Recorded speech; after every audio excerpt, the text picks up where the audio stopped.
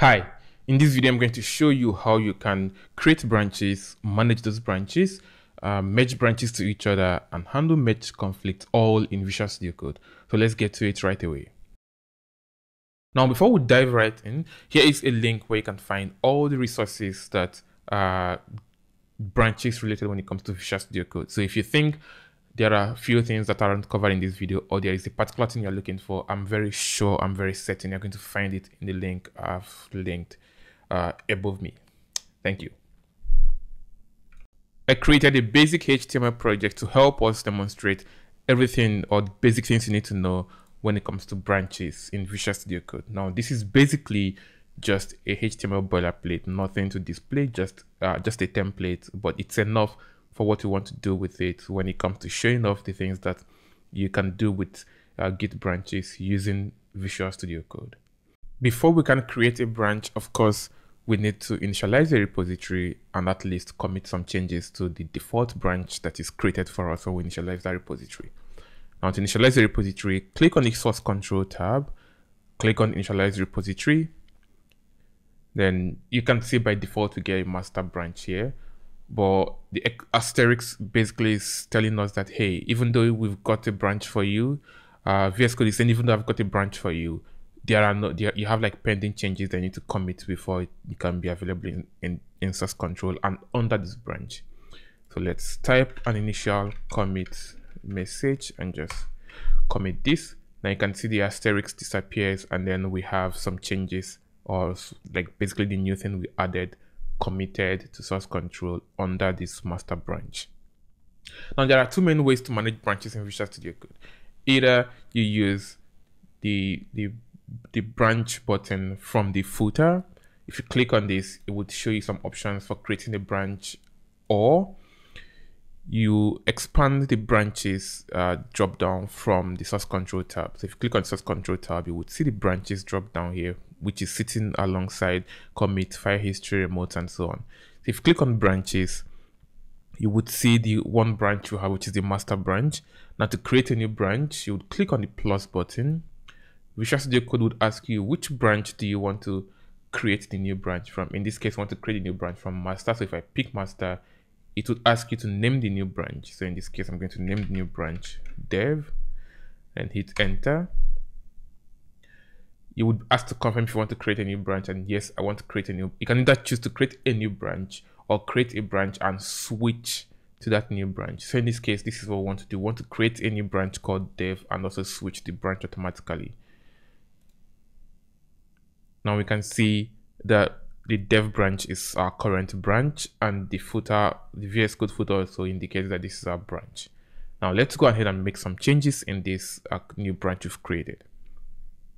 I'm just going to add a simple header which just welcomes everyone to our page. Now once we have this, we need to commit the changes we've made in this case added header. Now we can switch between this between this these two branches between master and dev by just clicking this uh, arrow beside them. So if I click on uh, the arrow beside master, which is the switch to branch arrow, you should see that the welcome message disappears. And if I click on the dev, on the arrow beside the dev branch, you would see that the welcome message reappears again. To merge our changes or to merge the changes we've made on the dev branch to the master branch, first of all, we need to switch the master branch, which you can do uh, just like we learned using the arrow button beside the master branch. Now we're back to the master branch, which doesn't have the welcome message in the index.html. Now to merge this, to merge the dev branch into this master branch, you would head back to the source controls uh, uh, section, click on this more actions menu, which so shows you all the possible uh, operations or all the possible commands or all the possible git commands that are available in VS Code. In this case, we want to head to branch, click on merge branch, and then VS Code will ask you to select a branch to merge from. In this case, we want to merge from the dev branch. If you click on the dev branch, you would see that the welcome message appears in the master branch. Now, if I switch back to dev branch, I would still see the welcome message. And if I head back to master branch, I would also see the welcome message. There is another way you can merge branches, which is to right click the branch that you are currently not checked out into. I don't know if that is correct, but this is what I mean. The master branch is currently the branch that is checked out. So the dev branch is not checked out. In that case, uh, we want to merge from the dev branch into the master branch. So if you right click on the dev branch, you would see the merge branch into current branch. So the current branch is the checked out branch, which is the master branch. And we don't, this is the branch we want to check. We want to uh, rather merge the dev branch into. So if you click on merge branch into current branch, it would merge dev into master. But currently we've already done this through the previous method, but I thought it would be cool if you know that you have this option as well for merging branches. Now you can also rename a branch by right clicking on the branch's name and clicking rename branch. Now we want to rename the master branch from master to main and hit enter. Yes, it's asking if you want to confirm the renaming of this branch and yes, we want to rename this branch. So just click on rename branch and the master branch would be turned or would rather be renamed into main. Let's take a look at how we can resolve merge conflicts with Visual Studio Code. So let's say we added a paragraph called uh, with the content hi and then we commit this paragraph with the message added hi and no, mind you are committing this this uh this new change to the main branch. Would commit this change and switch to the dev branch add a different uh, content in this case. Let's just add um, another paragraph but with a different text. Hello. Then we can commit this message by uh, using the commit message added hello. Now let's try to merge these two branches. If if you've noticed the change we made in main if we switch back to main is going to conflict with the change we've made to the dev branch. So if we try to merge the branches by right clicking on dev or rather let's switch to main then right click on dev and click on merge into current branch. Click on merge, we would experience a merge conflict. VS Code gives you the most popular options for handling merge conflicts.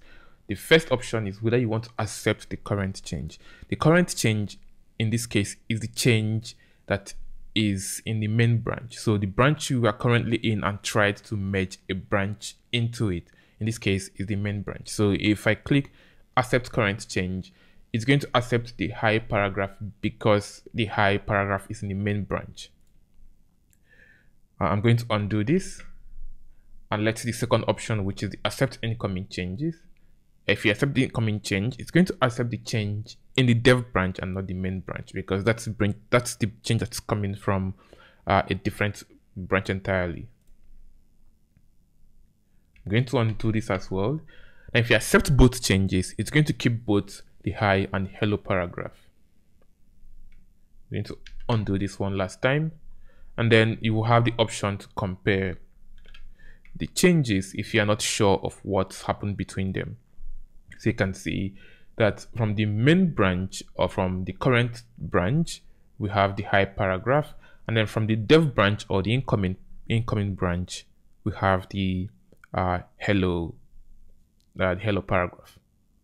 Now, in a few minutes, you've seen everything you need to know, at least the basic things you need to know to be able to manage branches using, using Visual Studio Code. I, I personally think that this is way faster than using the terminal because I, I'm already in, v, in VS Code. I'm, I'm already in VS Code. I'm already clicking around uh, icons and menus and stuff in VS Code. So it makes more sense for me to just also handle all my branches or like Git related stuff from Studio Code.